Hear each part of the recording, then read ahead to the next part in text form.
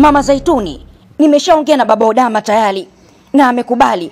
Amesema lazima Odama afunge ndoa ili asije akamtia aibu akazalia hapa nyumbani. Hivyo ifikapo kesho tutamuita huyo mwanaume ili aje kujitambulisha. Safi sana Rehema, kwa kweli, yaani unaupiga mwingi. Mipango yako inanifanya nione ushindi wetu uko karibu. Baba Odama na binti yake hawawezi kuchomoka katika huu mtego wa kifo. Mama Zaituni, hakikisha na wewe mpango wako unautekeleza leo. Nenda kalale na mume wako ili umbebee mimba. Nimekuelewa Rehema. Yaani wakati mwingine huwa najiuliza mwenyewe, yaani kama ungelikuwa umekuja mapema au nimekufahamu mapema, basi huu mpango ungelikuwa tayari umeshakamilika. Baba Odama na binti yake tayari tungekuwa tumeshawafanya mizukule. Mama Zaituni, bado hatujachelewa. Sasa nenda na uhakikishe unambebea mimba. Odama binti yangu, hodi. Karibu baba, karibu. Mlango uko wazi. Kwani atakuwa amekuja kuniambia nini jamani? Odama binti yangu, nina mazungumzo naye mafupi tu, na wala sitaongea kiurefu, nitaongea kiufupi tu. Nakusikiliza baba. Ni mazungumzo yepi hayo? Odama binti yangu, naomba unisikilize kwa makini.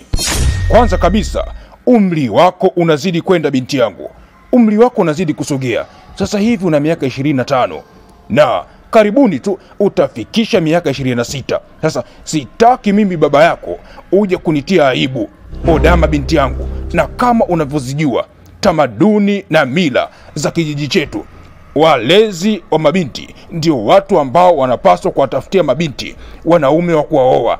Odama binti yangu, nataka uolewe haraka iwezekanavyo. Baba jamani, mbona unaishi kizamani?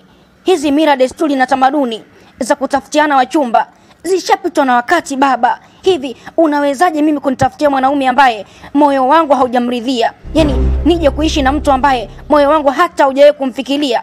Baba, mimi nitampata mtu tu, naamini Mungu ataniletea mtu ambaye moyo wangu utampenda. Baba, mimi sitakutia aibu. Hebu kelele, we mtoto wewe!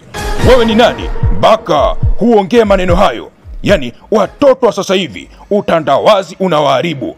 Hivi unajua hata mama yako nimemuoa mimi kwa stahili kama hiyo? Wazazi wangu walinitafutia mama yako, na wewe ndo mpaka sasa hivi umezaliwa, na tu tuliishi muda mrefu tu mpaka pale mke wangu alipofariki. Odama, sitaki unipinge, nishakupa taarifa. Yaani hili swala sio la kujadili mimi na wewe, umenielewa eh? Yaani toka enzi za mababu zetu huko wanaishi katika mila hizo. Wewe ni nani unakuja kunipinga mimi baba yako? Odama, nitakumwagia laazi. Sitaki ujinga, sitaki uje kuntia aibu mimi. Kwa nini leo baba amebadilika kiasi hiki? Nitajua tu, nitajua. Yaani amekuwa mkali kiasi hiki kwangu? Baba, sawa, nimekuelewa. Hayo maswala tena ya kumwagiana radhi, umefika mbali sana baba, nimekuelewa. Kama ungenisikiliza basi tusingefika mbali Basi hivi. sawa, lakini nataka nijue ni nani huyo atakayenitafutia mimi mchumba wa kunioa. Shangazi yako ndiyo mtu ambaye atakutafutia mchumba wa kukuoa. Sitaki mabishano na wewe. Mimi natoka naenda zangu chumbani kulala. Jua tu unatakiwa kujiandaa na ndoa, lazima uolewe. Sitaki uje kunitia aibu mimi. Nilijua tu lazima atakuwa shangazi. Basi wameshauriana na mama Zaituni ili mimi niolewe, ili wampoteze zaidi baba yangu. Yaani baba yangu ameshikwa akili kabisa, sijui amemfanya nini, lakini hii ndoa haiwezi ikafungwa, na njia kubwa ya kuzuia hii ndoa ni mama yangu kurudi hapa nyumbani. Zaituni mdogo wangu, mimi natoka naenda kwa bwana wangu Charles. nimemisi kwa kweli, na hata yeye ameniambia amenimisi. Sasa usiku huu hauwezi ukapita bila kuonana, umenielewa eh? Zaituni, naomba unitunzie siri yangu cha usiku, dada yangu, yani utaniweka tu katika matatizo hivi. Huoni kama mama akiingia huku na akakuta haupo, ntamjibu nini mimi? Kwa nini usisubiri mpaka kesho asubuhi? Mtaenda mtakutana tu na mtayafanya hayo ambayo mnataka kufanya. Zabibu mdogo wangu, siwezi kwa sababu upwiru ushakaba roho hivi haujausikia ule wimbo wa alikiba akiimba. Anatamani kuwa singo ila sijui upwiru umekabaro njo kama mimi ningekuwa sio binadamu ningebaki hapa nyumbani. Lakini siwezi upwiru ushafika kooni. Lazima nikutane na charles. Basi sawa sasa niambie utarudi saa ngapi? Ntarudi hapa mishele ya saa kumi na moja alfajiri na nitagonga dirisha. Hakikisha wewe ndio mtu ambaye utanifungulia mrango, ili mtu yeyote yule asijue kama nilitoka. Mchawi mkuu, tayari nimeifanya kazi yako, nimemleta mama tayari. Safi sana cha upele, napenda watu wa namna yako, hamna huruma na nyie ndio watu ambao mnanifaa. Ukiwa mchawi hautakiwi kuwa na huruma, na wewe umedhihirisha hilo. Cha upele, kuanzia sasa hivi wewe ni mchawi rasmi, na kama ukitaka ni kuongeze cheo, unaweza ukamtoa ndugu yako yeyote yule au hata baba yako. Je, uko tayari? Niko tayari mchawi mkuu, nitamtoa na baba yangu. Safi sana Chaupele, kiukweli unazidi kunifurahisha. Sasa basi, ukimtoa na baba yako nitakukabidhi cheo cha mkuu wa majeshi ya kichawi. Umenifurahisha cha upele. Safi sana Chaupele, unaonesha wewe utakuwa mchawi mkubwa sana. Sasa huyu mama yako na kwenda kumuweka katika shamba langu la miwa, atalima maisha yake yote. Fanya utakavyo, mchawi mkuu, nitakuletea na baba yangu.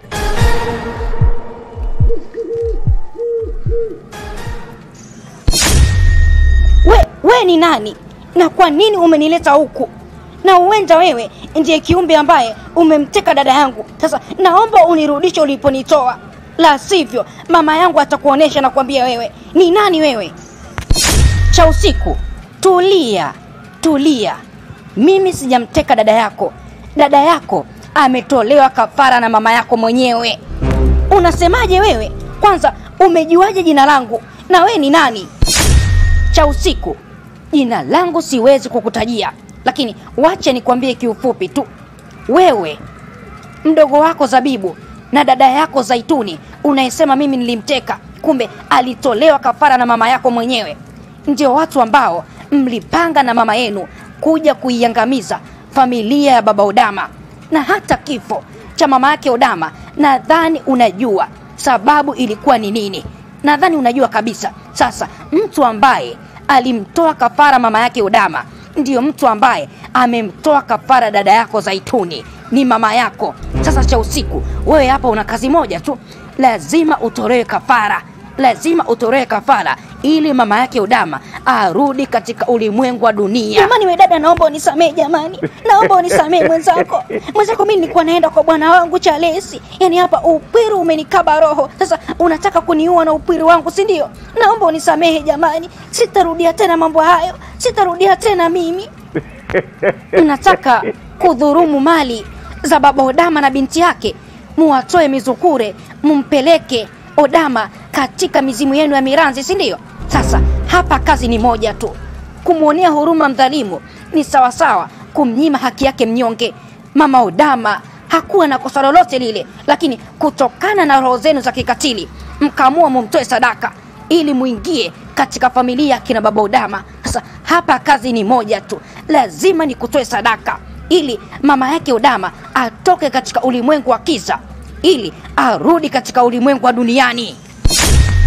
Kwa jina la Baba na la Mwana na la Roho Mtakatifu, amina. Kwenye angishi yake mtoe kafara huyo. mkubwa wewe, yaani unatubu kwa sababu kifo kinakukaribia. Kama ungelitubu kabla ya umauti kukukaribia, basi hata Mungu angelikusamehe. Hapa hauwezi kusamehewa. Ukisamehewa wewe, basi hata Firauni atasamehewa na yeye. Cha usiku, kwa heri cha usiku na kutoa kafara.